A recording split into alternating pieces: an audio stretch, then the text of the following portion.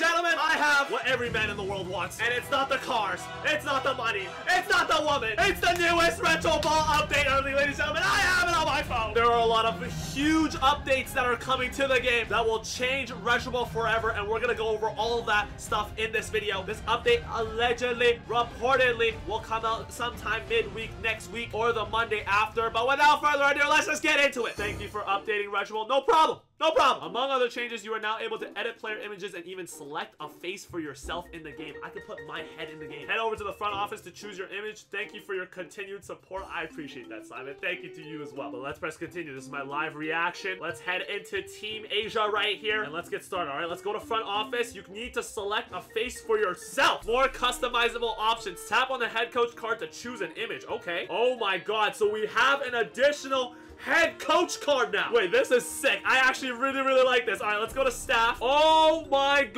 these are all of the Retro Bowl options. Where's the Asian guy? Where is the Asian guy? Simon, come on, bro. Please tell me there's a Chinese guy in here. Where is he? Ah, yes, look at him. Ah, yeah, look at it. Ah, look at it. Yeah, look at the wings, the zangs, the mouths. I'm talking about. Oh my goodness, this guy looks like a guru. Let's go with this guy right here. I like his goggles. This is the new head coach menu here, and we can edit his name. This would be great for my 49er series. And he has a morale as well. Shows me my record, my win percentage.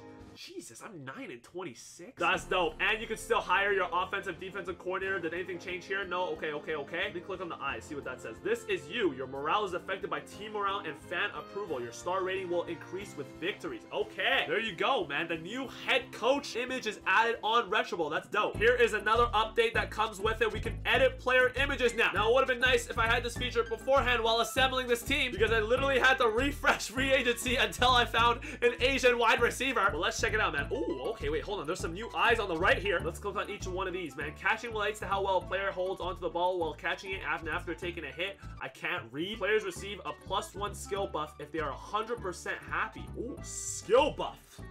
Whoa! Okay, who's the happiest guy here? Ming. Let's go to Ming. There's new descriptions now as well. Throw actually determines does the skill buff show? I guess the skill buff is already in. He's exceptional, so I'm assuming he's 100% happy, but this is interesting. What about arm strength? Players receive a plus one strength buff if their morale is angry or toxic. Oh my god! Wait! All of my players are angry! Wait, so it's kind of an advantage now. They're all pissed off. Wait, let me take a look at speed. Players receive plus one speed buff if they have 100% condition. Oh, I like this. Okay, I'm assuming plus one speed buff just means another point added on this yellow bar. I don't know if it'll show you or not. Toxic players receive a plus one stamina buff. How does that make any sense? I guess you run more when you're depressed and you're sad.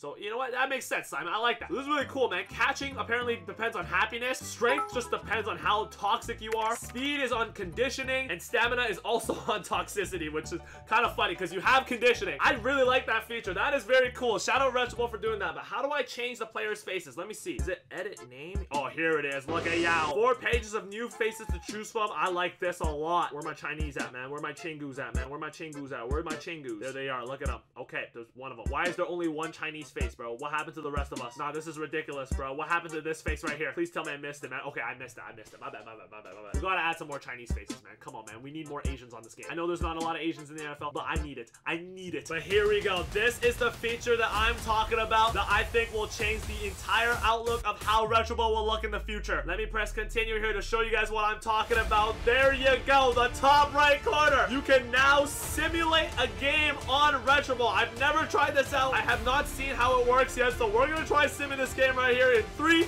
two, one.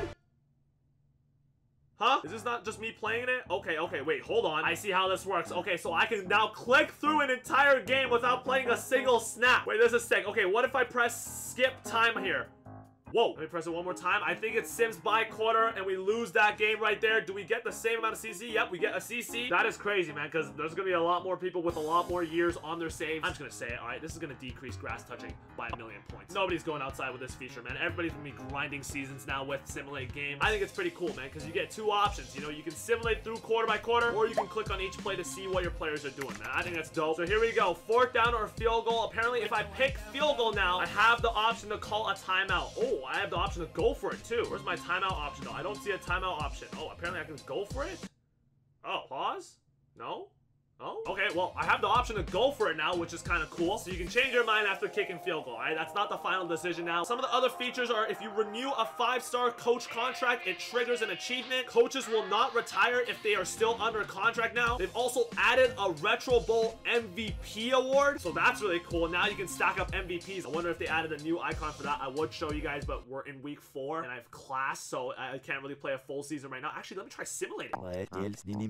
Here we go. I'm simming the last game right here. I simmed the whole season pretty much in less than five minutes. I do not recommend you guys simming games on Extreme because guess what? My entire roster is toxic and I lost every single one of the games that I simulated. I literally went 1 in 16, but let's see what happens here after the season ends. Hainan wins the Retro Bowl. Shout out Hainan, you know what I'm saying? Anything else happen here? No, no, no, no, no. New season begins. Okay, so I'm assuming what Simon means by the added Retro Bowl MVP award. I think that's just for the Retro Bowl finals. So that kind of sucks because I literally just played my Retro Bowl finals like three weeks ago. Other updates now, sacks do not count as rush attempts, okay? Didn't notice that problem ever, but I also don't pay attention. I can't read. And last but not least, some of the team strengths and uniforms are updated with this new update. Shout out to Coach Retro Ball for contributing towards that. Let me know what you guys think of these new updates coming next week. What do you guys think of Simulate Game?